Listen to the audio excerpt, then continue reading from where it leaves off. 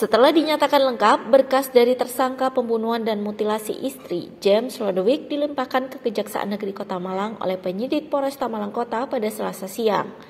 Selain tersangka James Rodowik, beberapa barang bukti seperti kayu dan ember plastik juga dilimpahkan ke Kejaksaan. Kasih Pidum Kejari Kota Malang Kusbiantoro bilang bahwa dari laporan jaksa penuntut umum tersangka mengakui semua perbuatannya. Selain itu dari hasil rekonstruksi beberapa waktu lalu, JPU juga melihat gambaran dengan jelas proses tersangka membunuh dan memutilasi istrinya. Setelah mendapat pelimpahan, Kejari Kota Malang akan melakukan penahanan selama 20 hari ke depan.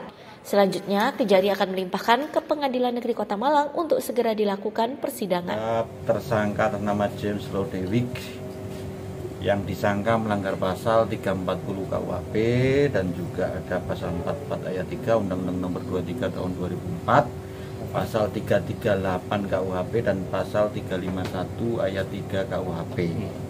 Kalau pasal 340 tentang pembunuhan berencana.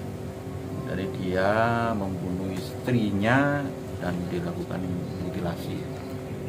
Kalau pasal itu? Kalau pasal 44 ayat 3 Undang-Undang Nomor 23 tahun 2004 tentang penghapusan kekerasan dalam rumah tangga. Sementara itu kuasa hukum tersangka Guntur Putra Abdijaya bilang bahwa tim akan melihat kondisi hasil pemeriksaan psikologis tersangka untuk dipelajari dan melakukan pembelaan. Kondisi psikologis waktu awal memang James masih kondisi sempat pingsan, sempat shock, sempat nanu. Tapi setelah ini tadi setelah pelimpahan dia sudah menunjukkan keterangan yang sejelas mungkin apa yang terjadi. Untuk langkah selanjutnya Pak? Untuk untuk langkah selanjutnya nanti kita tunggu 20 hari ke depan. Kita nanti dari tim juga akan mendaftarkan kuasa untuk dipersidangkan di Pengadilan Negeri Kota Malang. Sebelumnya, pada awal Januari, masyarakat dihebohkan dengan kasus pembunuhan dan mutilasi yang dilakukan oleh seorang suami kepada istrinya sendiri di Jalan Serayu, Kota Malang. Tersangka mengaku memutilasi istrinya karena cemburu. Dedi Prasetyo, Kompas TV Malang, Jawa Timur.